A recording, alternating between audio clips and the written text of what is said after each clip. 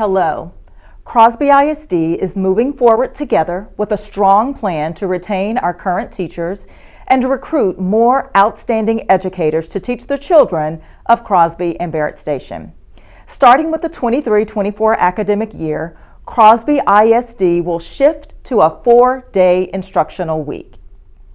I would like to personally thank the members of the Board of Trustees who spent countless hours researching, thinking, and ultimately approving this move. Thank you to all the parents, families, staff members, committee members, and community leaders who answered survey questions, asked thoughtful questions, discussed the merits and challenges of the proposal, and engaged with us in this process. Your input was invaluable.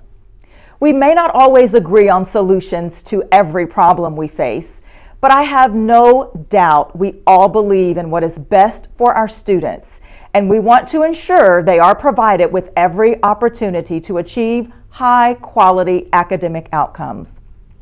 We are problem solvers in Crosby ISD, and we believe everyone can be part of the solution.